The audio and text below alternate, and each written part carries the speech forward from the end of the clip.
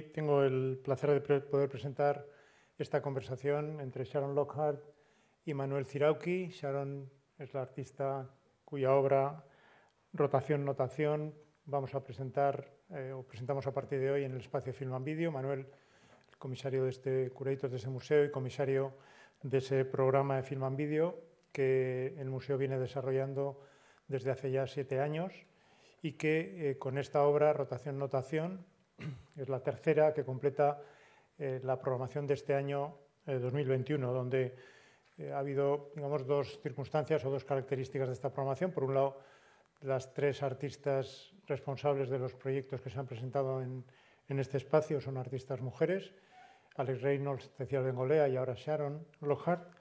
Y además todas las obras tienen alguna conexión, como después estoy seguro que Sharon y Manuel hablarán, todos tienen alguna conexión con el movimiento, con el cuerpo, eh, con la coreografía, con la relación con la, danza, con la música. Eh, en este caso concreto, eh, la obra de Sharon Lockhart, Rotación, Notación, parte de su contacto y de su relación con una coreógrafa, Noah Eskol, y con ese sistema de, notación del movimiento, conocido con, por, ese, por, el propio nombre de Noah Eskol y del el arquitecto Abraham Bachmann, que con ella diseñaron ese sistema de notación que permite reflejar todos los movimientos del, posibles en el, en el, cuerpo humano a través de ese sistema, de ese registro.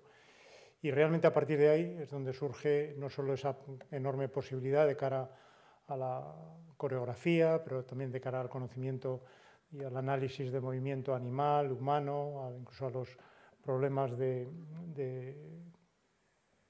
comportamiento que afectan al movimiento, el síndrome de Asperger o, el síndrome de autismo, eh, pero además pues, suponen, y en este caso concreto es el punto que, de, origen de una obra como esta que se puede ver en el espacio de Film Video, una obra que es un, vídeo, pero además un conjunto, una serie de cuatro fotografías que se pueden ver en el espacio, en el vestíbulo que, está justo antes al acceder a la sala de film en vídeo.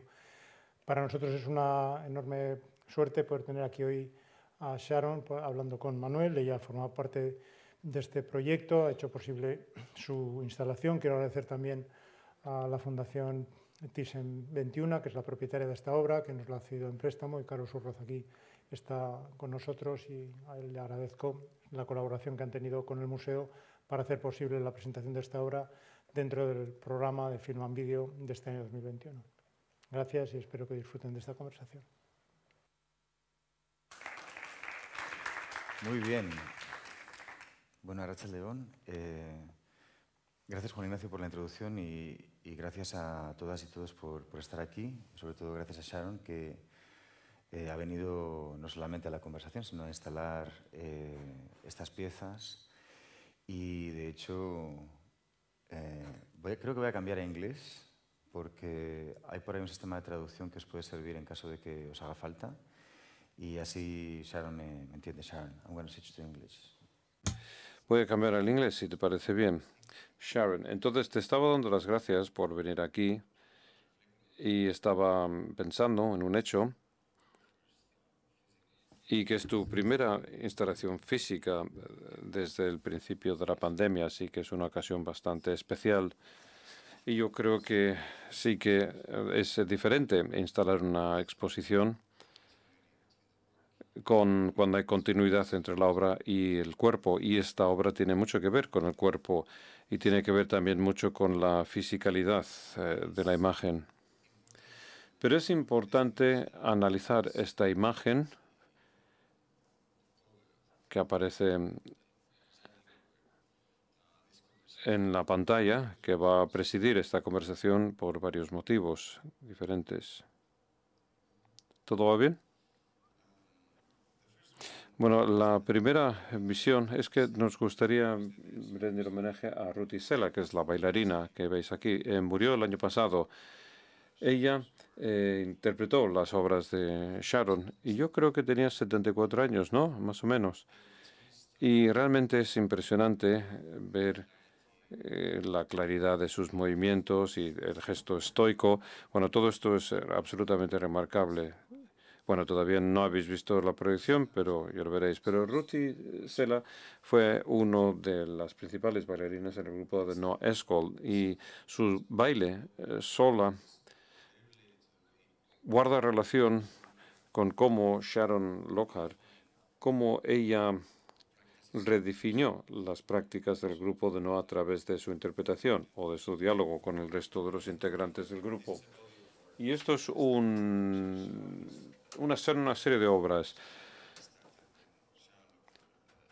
Y esto empezó cuando Sharon Lockhart estaba investigando en Israel y se puso en contacto con, bueno, con este archivo que casi estaba abandonado y olvidado, pero gracias al trabajo de Sharon Lockhart, Noah Eshkol ha vuelto y la gente ahora puede ver qué, es lo que hizo en el mundo de la danza y el arte contemporáneo y también en el mundo de los textiles. Entonces vamos a intentar contextualizar las obras que estamos presentando, es decir, la serie de obras y lo que ha hecho Sharon como tal. Y a Sharon no le gusta hablar sobre lo que ella hace, sino le gusta hablar sobre otros temas. Pero bueno, le estamos obligando esta noche, le estamos obligando a que ella revele información clave sobre todas estas obras maravillosas. Quiero dar las gracias a todo el mundo que ha venido a este acto y en especial Muchísimas gracias a la colección del Thyssen, que nos ha prestado la obra y con los cuales hemos eh, colaborado, y también el Wellbeing Project ha sido otro interlocutor muy importante. Y me gustaría también dar las gracias a, a la Galería de Sharon en Berlín, puesto que fueron de muchísima ayuda en muchos aspectos del proyecto, pero también para recopilar los materiales que presentamos hoy. Entonces, quizás pudiéramos ver la primera imagen y a partir de ese momento tendré que em, controlar este sistema que nunca he utilizado antes. Intentaré hacer todo lo que pueda. Pero lo primero que yo quería señalar tiene que ver con la fisicalidad de estos volúmenes son pantallas, pero no solamente son pantallas. Sharon insistía en el hecho de que tenían que tener una presencia que fuera escultural y que tuviera una conexión con el arte minimalista y que tuviera una relación proporcional con los cuerpos de los bailarines y las salas donde se hace la instalación. Como punto de entrada a la conversación, bueno, podemos hablar sobre la fisicalidad de las obras en toda la serie, ¿no?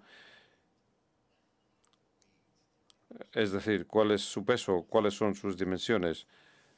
Bueno, yo siempre he pensado en el contexto de la, de la obra, aunque sea algo específicamente relacionado con el cine, y esta es una experiencia física, como el venir aquí hoy, que es una experiencia colectiva, y donde tenemos también algo que tiene que ver con la duración, y esto es algo que se puede trasladar hasta la fotografía y ver cómo el cuerpo guarda una relación con la parte física. Siempre he pensado en este tipo de temas. Y después tenemos la parte del minimalismo. Muchísimas gracias por plantear ese tema. Y la película, en la película yo quería establecer una conexión con los textiles, que bueno, que define Noah, con los em, bailarines. Y esto es algo que nunca había pasado antes, puesto que Noah estaba en contra de hacer esta convergencia, puesto que son dos prácticas totalmente diferentes.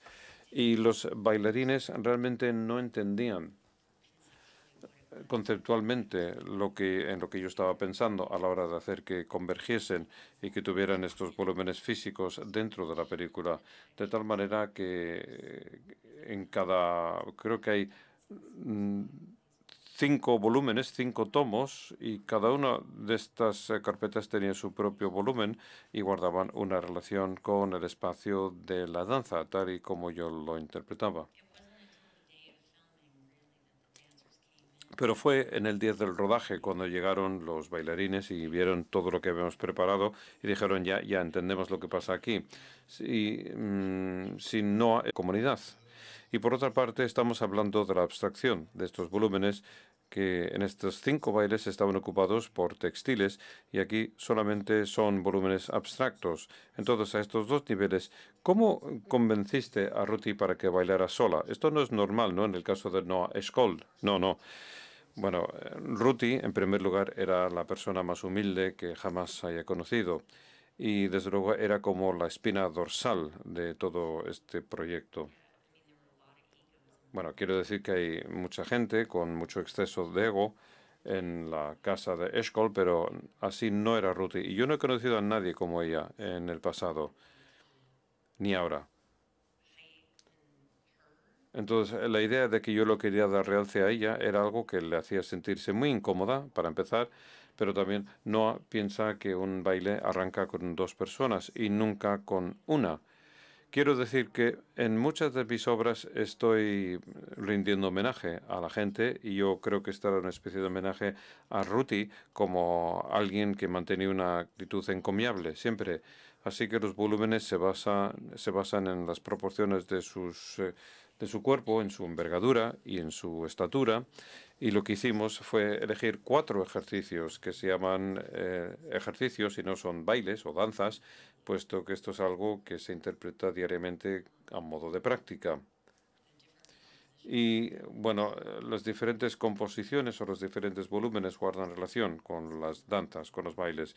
Este es un plano horizontal, así que lo que ella hace es eh, bailar de izquierda a derecha y después se desplaza en otra dirección y otras veces hace círculos o define círculos.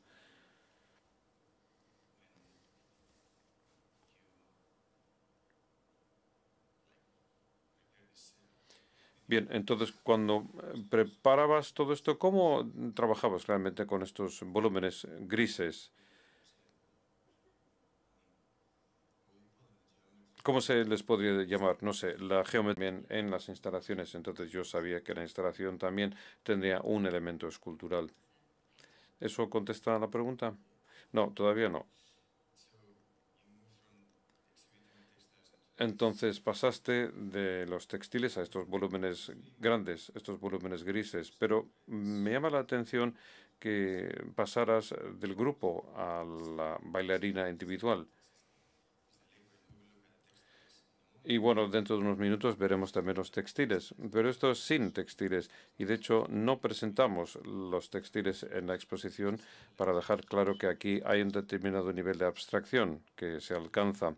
Y esto me intriga, me llama la atención estos volúmenes neutros y lo que pueden hacer en contraste con el cuerpo que baila o con el bailarín.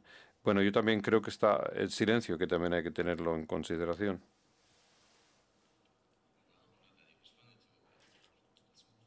Bueno, no es que haya respondido, pero vamos a seguir adelante con el tema. Y hablando de la abstracción, vamos a ver.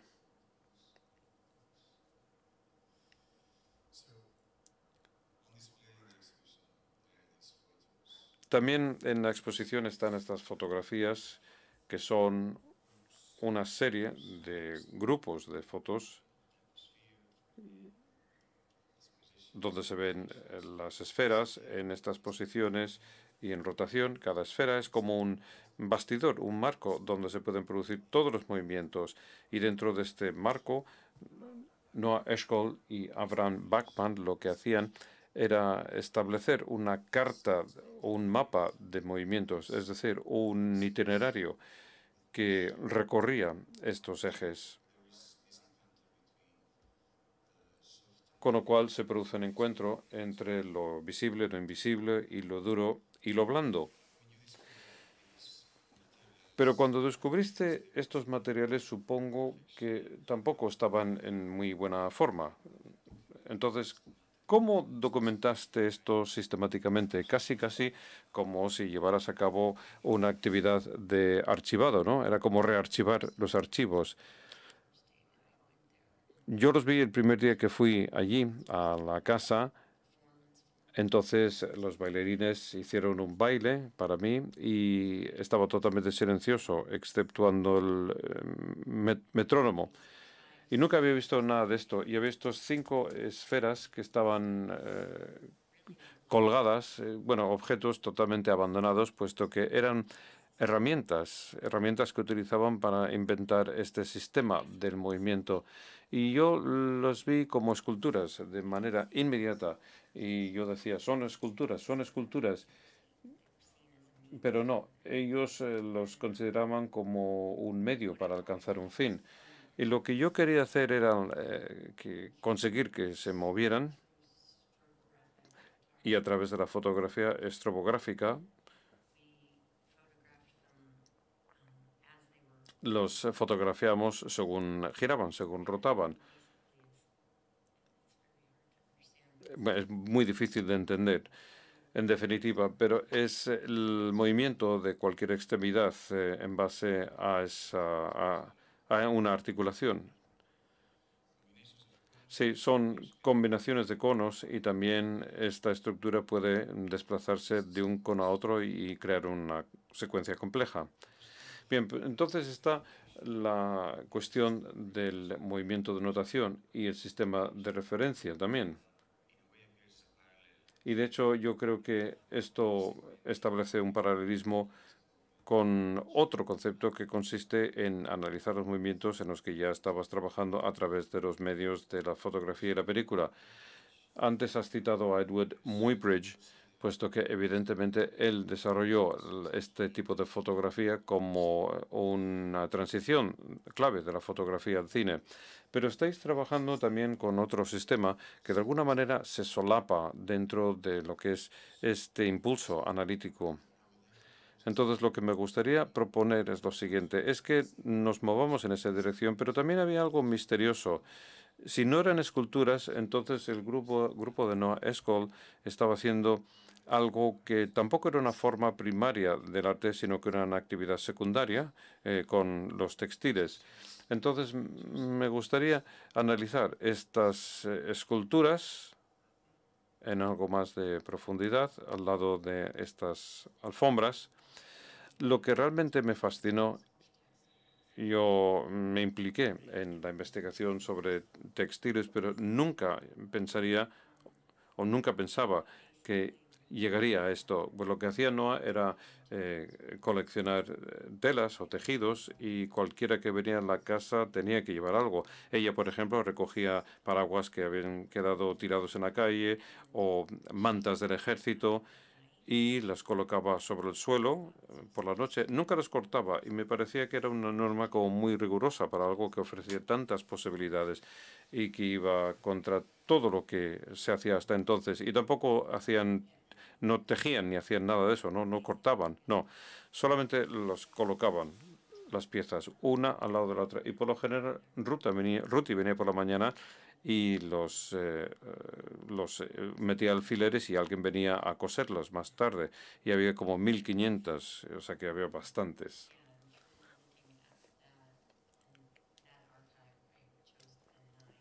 Entonces yo elegí las eh, nueve alfombras que eran para los cinco bailes. Y sí que les pusieron, sí que les puso títulos. Sí, este es el atardecer rojo y el anterior era el círculo del fuego. Es bastante sorprendente cuando pensamos en Noah, Noah que daba ese tipo de títulos. Era, bueno, era una mujer muy sorprendente y no dejaba mucho para la interpretación. Eh, por ejemplo, los bailes son exactos, no hay, es decir, tu personalidad no entra en juego, es una fórmula a la que se ciñe. Entonces, cuando vemos la obra de no, Escol, sí eh, ha muerto hace, hace poco tiempo, la verdad. Pero bueno, la comunidad estaba totalmente implicada con la continuación de la práctica, ¿no? Sí, sí.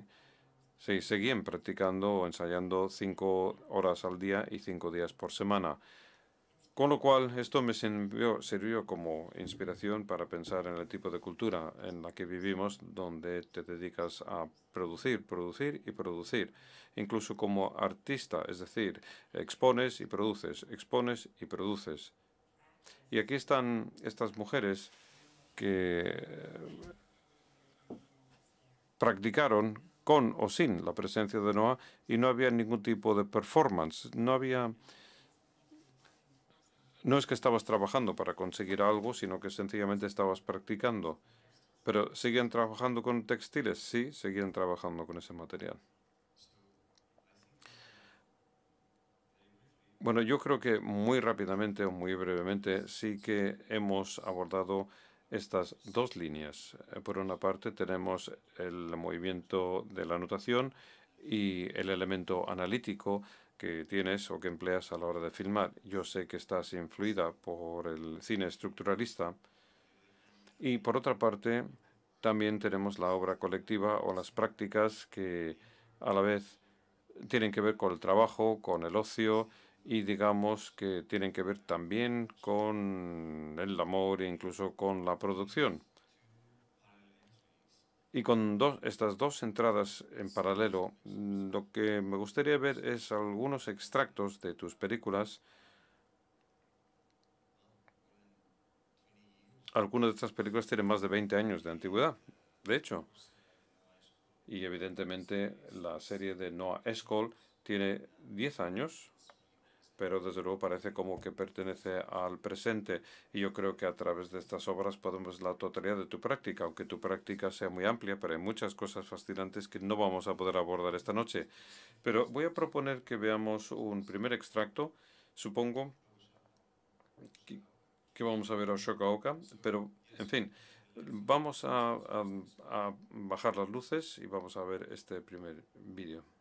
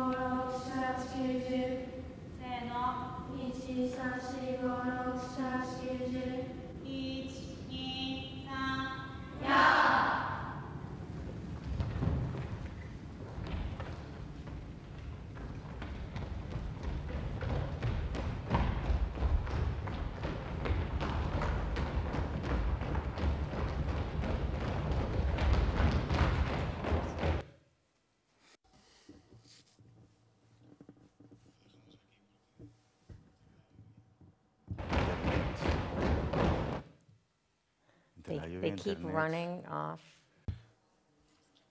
Bueno, siguen corriendo, siguen corriendo y eh, bueno, ya no se les ve, ya no se les ve, desaparecen de la cámara y entonces vuelve el silencio. Estamos hablando de la presencia y la ausencia, del contraste entre, entre ambas cosas. Siempre has jugado con eso, ¿no? Y siempre me parece que está en tus películas, es la, el peso de la ausencia o el peso de la presencia. Es decir, ¿cómo podemos dejar espacio en los mismos fotogramas para que ambos pesos desempeñen un papel?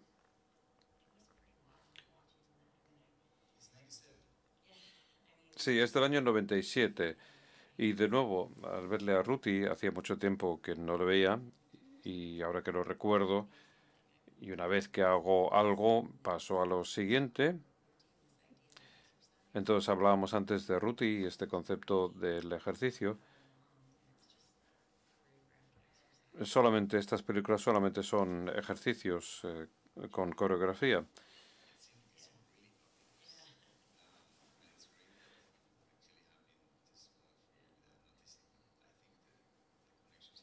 Yo creo que las conexiones están muy presentes y tenemos también esta idea de la disciplina que eh, también planteaba el grupo de Noah Eshkol.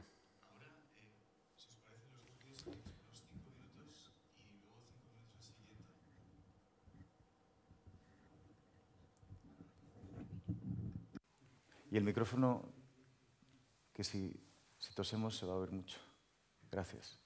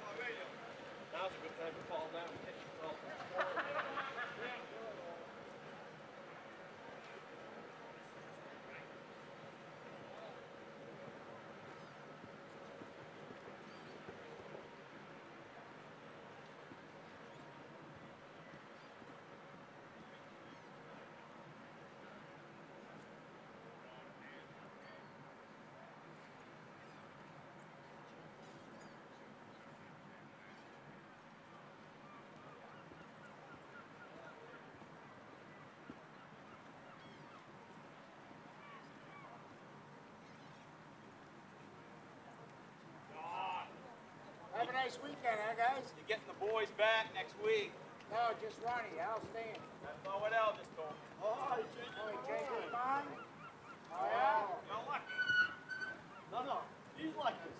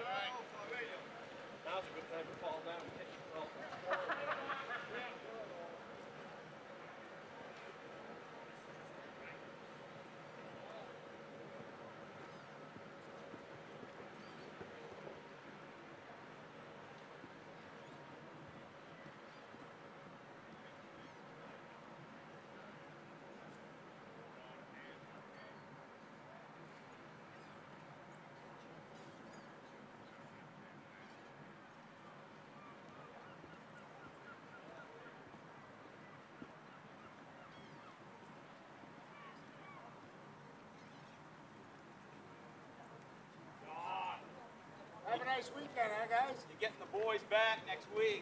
No, just Ronnie. How's Stan? That's not what Al just told me. Oh, you changed Oh, he your changed his mind. mind? Oh, yeah? You're lucky. No, no. He's like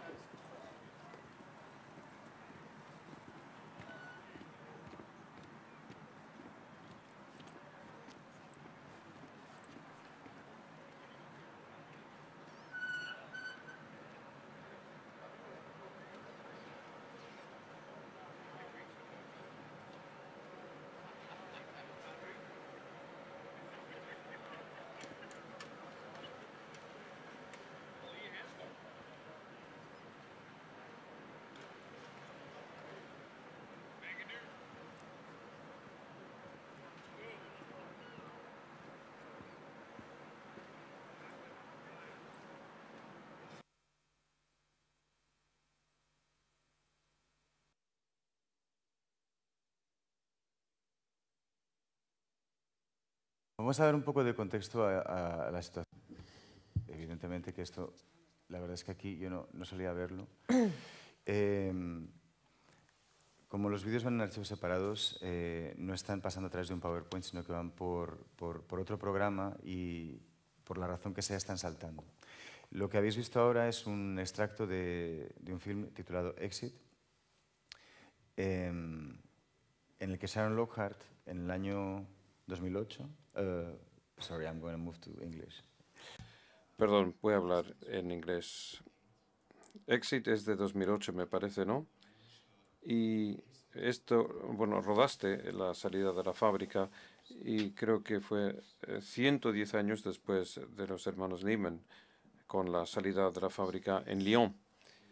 Entonces eh, se trata de una confrontación directa de dos momentos en la historia del trabajo, en la historia laboral, que yo presento desde dentro, es decir, estabas dentro de la fábrica y podías ver cómo salían los trabajadores y después en, durante la pausa del almuerzo también. Y lo que esto hace es producir una operación cinematográfica diferente. Esto es lo que intentaremos ver a continuación. Siguiente vídeo. Eh, los cinco primeros minutos, por favor. Gracias.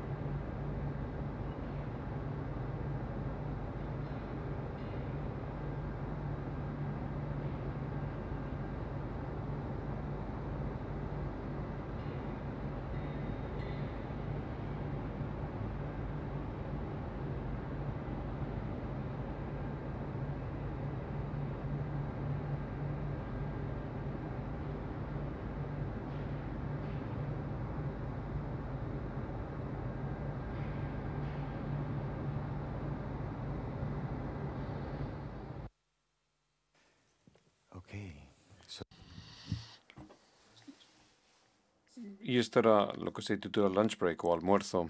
Entonces me parece que hay muchas cosas en común en este análisis del movimiento.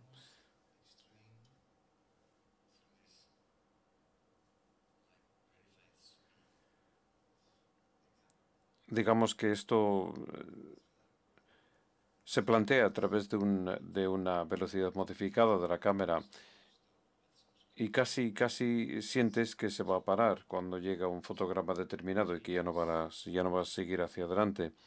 Entonces esto cambia, eh, cambia tu manera de pensar cuando ves imágenes de este tipo, lo cual es eh, muy manipulador en el cine de Hollywood, porque ellos tienen que eh, fijar la velocidad de, de tu manera de pensar. Y tú vives en California, y yo creo que esto guarda relación.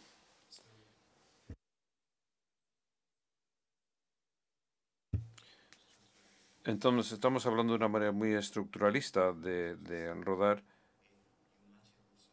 pero tú aquí lo haces encajar este paisaje, haces que entre el momento dentro de la cámara, pero no se hace desde un punto de vista neutral. Entonces, ¿cómo, ¿cómo llegaste a establecer este tipo de planteamiento? ¿Te interesabas por el trabajo y habías hecho cosas anteriores y de repente bueno, fuiste a una fábrica que está cerca de tu ciudad natal. ¿Y cómo se, cómo se te ocurrió ese planteamiento? Bueno, estaba trabajando mucho en el campo y Pinefly está a unas pocas horas de Los Ángeles, pero me recuerda de a, donde yo crecí, en Maine. Y esto todo tiene que ver con el tiempo libre y con la niñez. Y después empecé a pensar en el tiempo libre, pero en la etapa adulta y cómo la gente quería conseguir una jornada laboral de ocho horas y una pausa para comer de 30 minutos y esto hizo que llevara a cabo toda esta investigación acerca de la mano de obra industrial o sobre los trabajadores de la industria. Esto fue antes del colapso del mercado y a partir de allí cambiaron muchísimas cosas.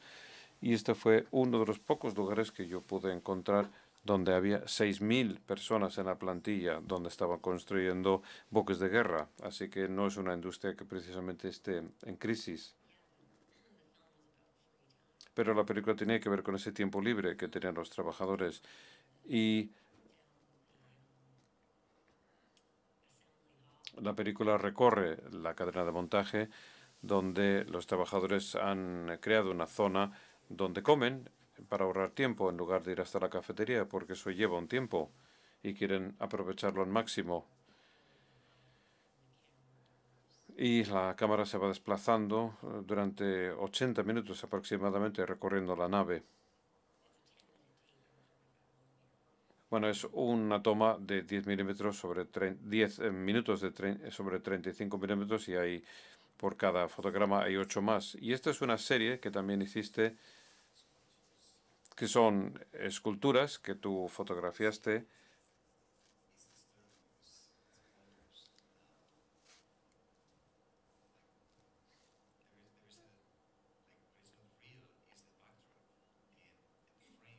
No es eh, real lo que ves ahí aquí, aunque mm, bueno, hay mucho realismo, pero no es real, porque son esculturas y hay algo escultural en tu obra también. Yo creo que en obras tales como Lunch Break, por ejemplo, lo que estás haciendo es una especie de interpretación escultural y estás em, presentando una serie de imágenes, pero a través de la repetición, a través de una velocidad de rodaje muy lenta también. Entonces, ¿hasta qué punto esta, esta mirada escultural en lo que se refiere a los volúmenes que vemos en las pantallas, hasta qué punto eso es algo que tú incluyes dentro de tus películas y hasta qué punto ves una conexión entre la película y la escultura? ¿Es circunstancial o eso es algo donde tienes que presentar el volumen real de la película, como si tuviera, no sé, peso, como si fuera algo que tuviera peso en el espacio. Bueno, me he perdido un poco, puesto que lo estaba escuchando y no lo acabo de entender del todo. Sí, la escultura y las películas y cómo las películas pueden estar físicamente presentes por la lentitud y por la repetición.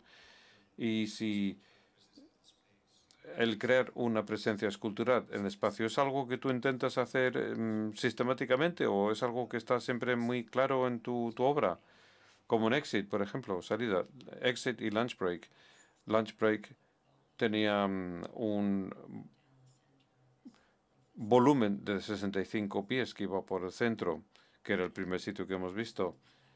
Y desde luego no era para nada una caja negra, sino que era una estructura grande y blanca en medio de ese espacio y lo que hacía era producir un efecto de eco. Y Exit estaba, bueno, estaba en la última sala, en la planta de abajo, en la planta a nivel de calle, puesto que después de ver eh, Exit sales del espacio y lo que yo quería hacer era incluirlo y esto también tenía un volumen que tenías que rodear de tal manera que tú llegabas a ser consciente de tus movimientos, puesto que Exit son cinco días de trabajo y son los movimientos de cada día, es decir, es una coreografía en sí misma.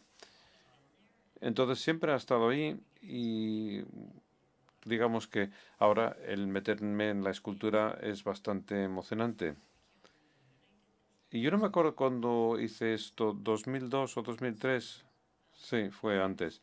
Bueno, supongo que estaba empezando ya a cambiar un poco de planteamientos, aunque no lo recuerdo. Pero empecé a analizar a Dwayne Hansen debido a su representación de la América de la clase trabajadora.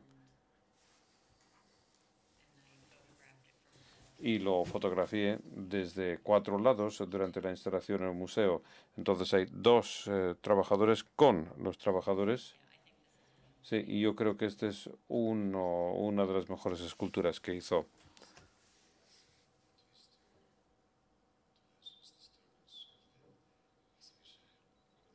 y tu pieza, digamos que lo que hace es añadir un elemento mm, perturbador en el orden de la exposición. Pero hay algo interesante también que quizás mm, me traslade la pieza Exit eh, respecto a los hermanos Lumière y su película original, La salida de la fábrica, esa escena que grabaron ellos hace ciento y pico años. De alguna manera es la primera película que se rodó, aunque parece ser que no es del todo cierto, puesto que hubo otros casos, pero digamos que fue uno de los primeros casos que se dio. Entonces eh, filmaron a los trabajadores saliendo de la fábrica, puesto que, bueno, pues era mm, capricho, ¿no? Pero eso desarrolla una redundancia y yo creo que eh, se debe a ese mecanismo que tú incluyes en tu pieza.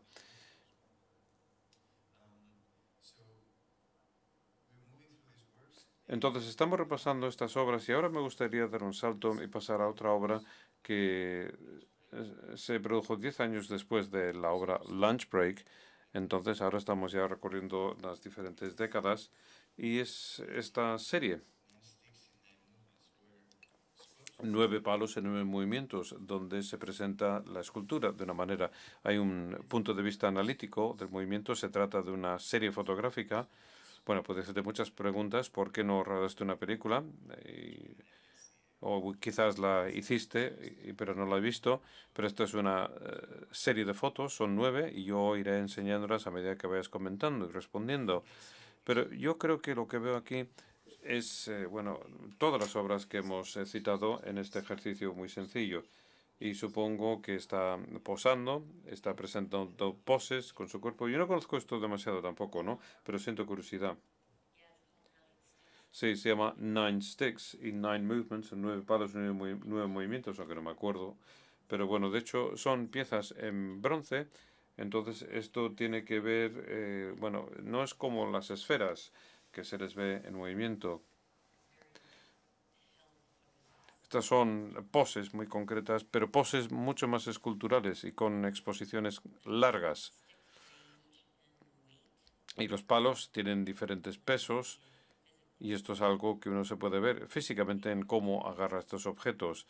Digamos que eh, todo esto proviene de mi investigación, eh, que, bueno, que viene de eh, áreas muy diferentes, como Por ejemplo, nuestra historia, nuestra política, el tema del mundo de la agricultura.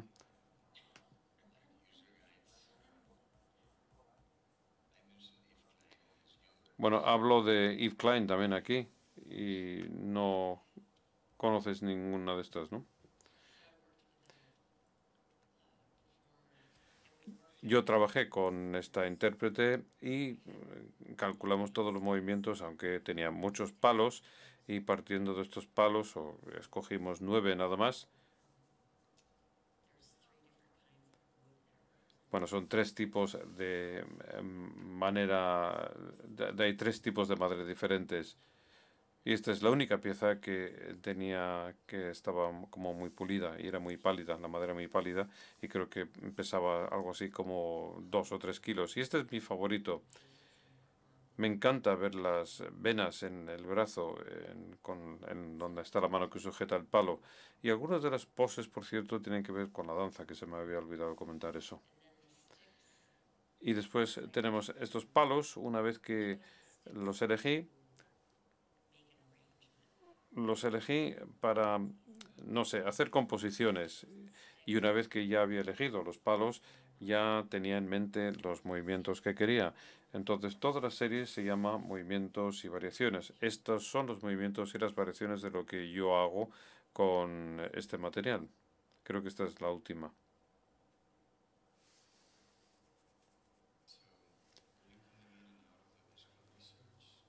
Entonces, ¿estabas em, entrando y saliendo del campo de investigación de Noor Eshkol o esto eran todo improvisaciones? Bueno, Eshkol y esto yo creo que hay como 10 años de trabajos.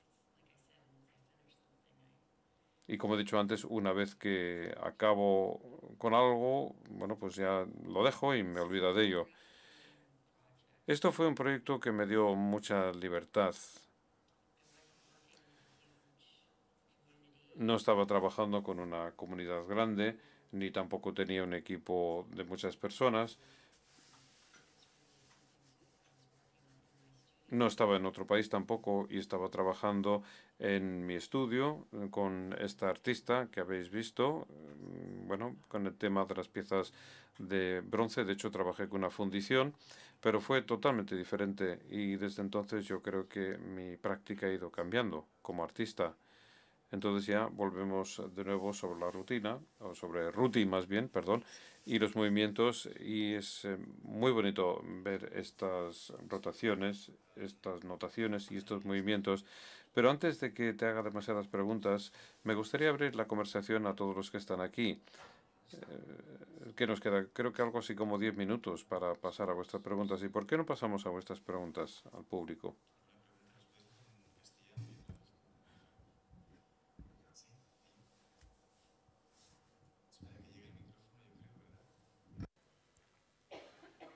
Va llegando.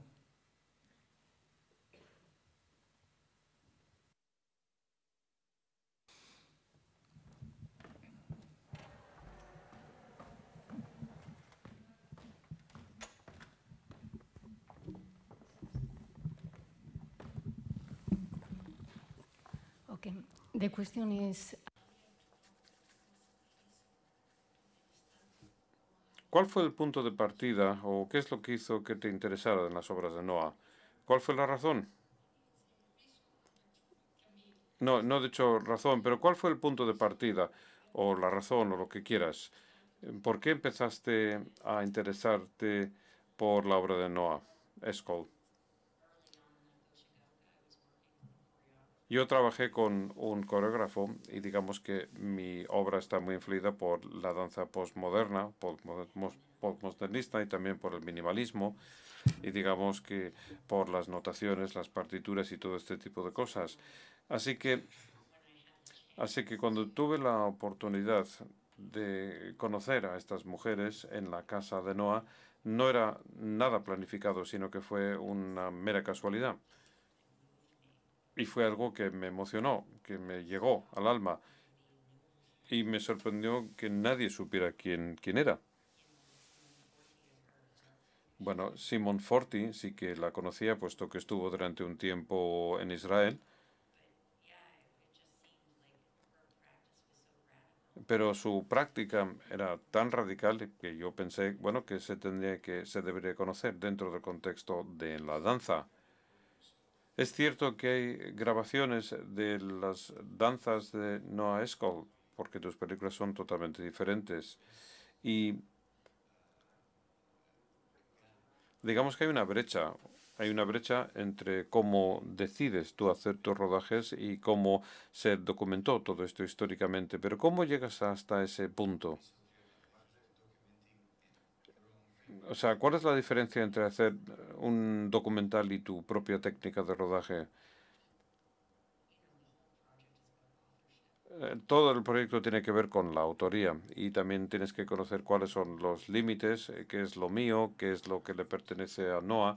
Y yo lo catalogué como una exposición de dos mujeres, pero evidentemente todo esto se ve a través de mi lente y no estaba interesada en rodar un documental, ya que hubiera sido algo totalmente diferente.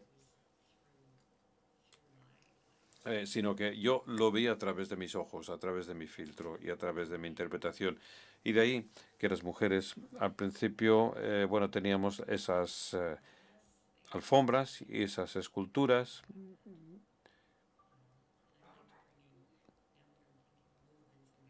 Y me encanta incluir movimientos y variaciones eh, con los bronces en las fotografías que hemos visto antes.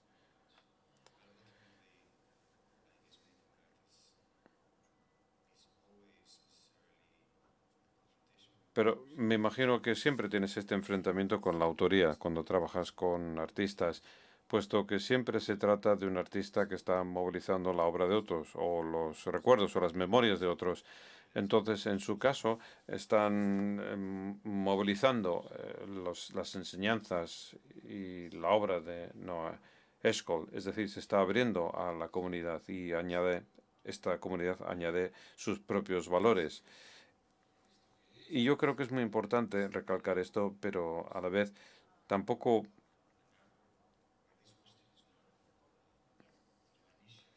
No, no, no sé eh, cómo abordar esta cuestión con ah, precisión.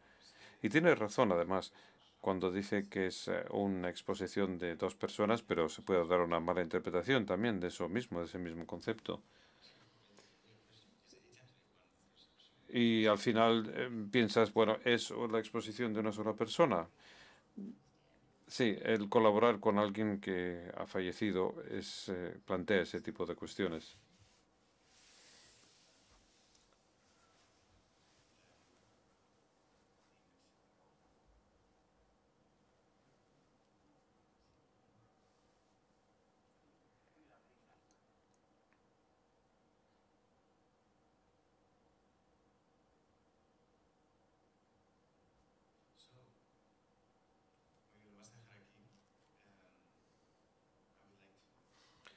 Muchísimas gracias. Lo vamos a dejar aquí. Gracias por tu presencia en esta exposición tan fantástica y voy a pasar al español para decir esto último. A todas y a todos por estar aquí. Disculpad de nuevo los problemas técnicos, no ha habido manera, pero espero que haya valido la pena. Muchísimas gracias y, y hasta la próxima.